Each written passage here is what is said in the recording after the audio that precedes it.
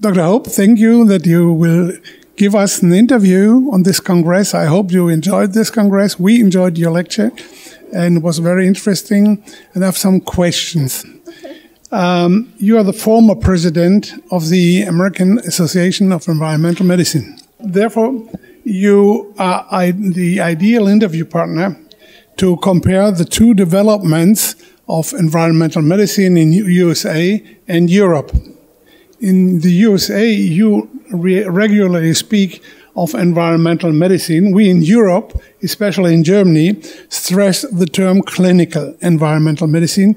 But this we want to underline, by this we want you to underline that we care for the individual suffering from the complex chronic multi-system illnesses by anamnesis, by diagnosis, by treatment, and primary prevention. Thus, this, the EEM, EAEM, uh, mentioned this differentiation as well. And do you work on a new positioning in your side too? So the American Academy of Environmental Medicine is a group made up of clinicians. So that that's uh, who joins the group.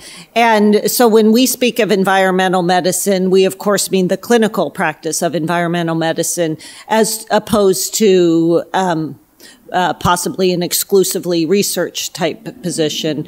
So in terms of the name environmental medicine to us, it, it includes the clinical aspect. In fact, that is what it means for our organization and for those of us practicing environmental medicine. But from the public view, politically, you are seen as uh, environmental medicine as environment and health sector, public health, or are you seen as a clinician? Probably both. I'd say those of us practicing are seen as clinicians, and that's my focus area, and that's the focus area of the American Academy of Environmental Medicine.